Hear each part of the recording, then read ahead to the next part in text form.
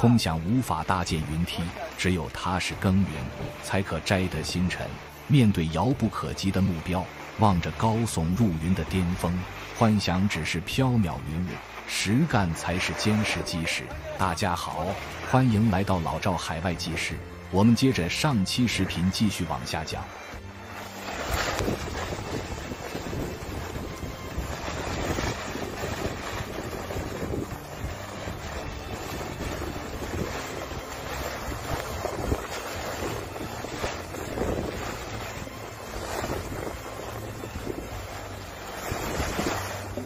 离婚这场风暴，犹如一记重锤，将康特的生活砸得支离破碎。往昔安稳的日子一去不复返，如今的他身陷困境，狼狈不堪。为了能有个安身立命之所，康特带着身旁的哑巴小男孩，把所有的希望都倾注在了建房这件事上。每日，他们穿梭在工地之间，搬运砖石，搅拌泥沙，小小的身影满是倔强与坚持。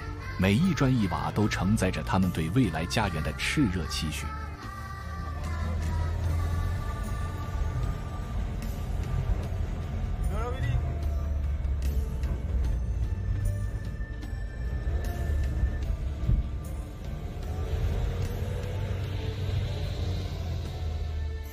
可命运似乎总爱捉弄人。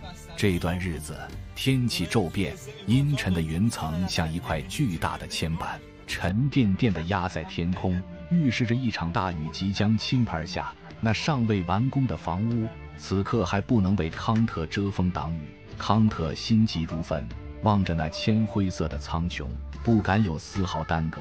天刚蒙蒙亮，便匆匆乘车，带着小男孩奔赴城里。抵达城里，人来人往，可康特无心欣赏这市井繁华，他径直奔向售卖雨布的店铺。在琳琅满目的货架间仔细挑选，手指摩挲过一卷卷雨布，权衡着材质、尺寸与价格，最终选定了 Y 一款厚实耐用、防水性能极佳的雨布。这块防雨布，康特今天将用于临时居住地的搭建。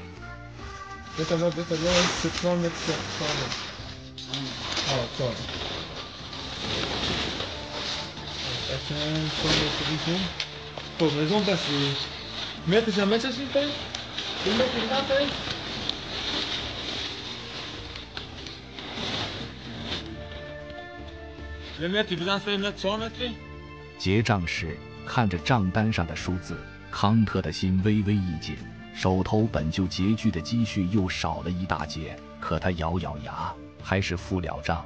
此刻，康特他知道，每一分钱的投入都是在为那飘摇不定的生活筑牢根基。即便前路依旧坎坷，风雨或许还会无情拍打，但只要能护住这建方的希望，他便有勇气、有决心，在这艰难生活中一步一步趟出一条通往安稳的路来。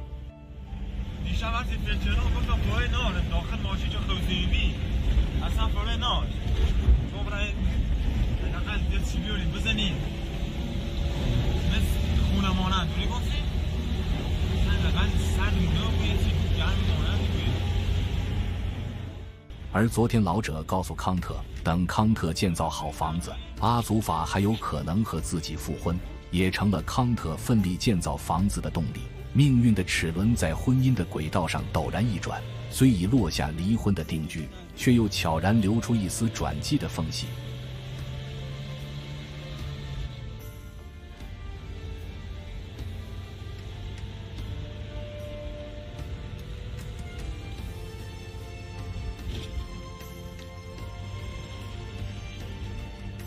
昨日阿祖法的一番话，宛如一颗石子投入康特原本死寂的心湖，激起层层涟漪，让那看似熄灭的希望火苗重又闪烁起微弱的光。原来，此刻他们正身处律师所言的离婚考验期，这段特殊时光恰似命运设置的缓冲地带，给予两人冷静反思、权衡抉择的契机，亦如一座摇摇欲坠的桥梁。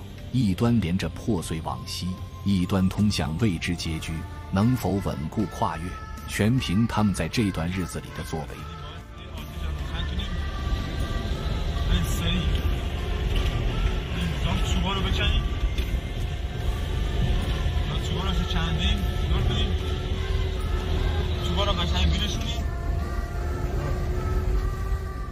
康特听闻此讯，内心五味杂陈，往昔的追悔，当下的怅惘与未来的忐忑交织翻涌。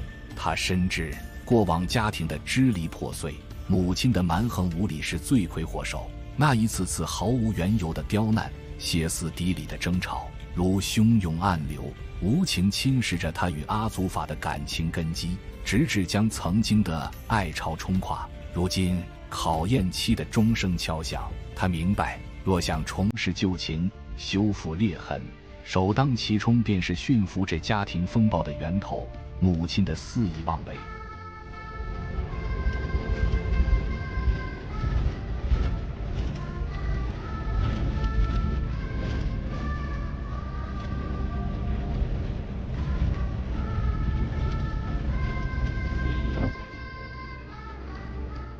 建房之事。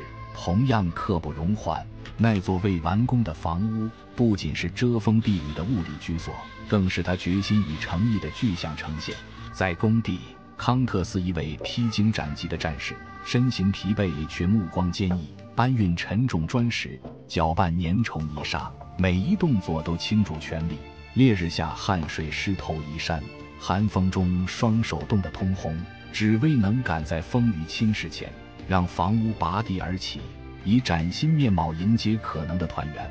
阿祖法这边虽已被生活的波折折腾得心力交瘁，却也未曾全然割舍对往昔温情的眷恋。离婚是无奈之举，是被婆婆的无理逼迫至悬崖边缘，不得已做出的自保抉择。在这考验期内，她亦在悄然观望。心底暗自期许康特能有所改变，有所担当，冲破家庭困境的桎梏，重新为他们的感情撑起一片晴空。